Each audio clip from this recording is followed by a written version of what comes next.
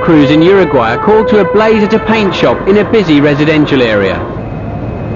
The building is well alight. It's filled with highly flammable solvents.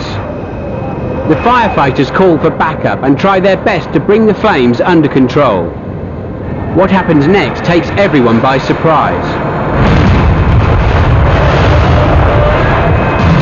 The force of the explosion is immense.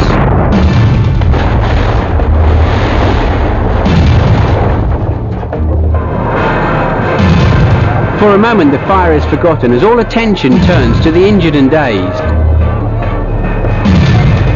Several of the men have bad burns. Ambulances are quickly on hand to rush them to hospital. It's a frightening example of the dangers fire crews across the world regularly encounter when they're working on the front line.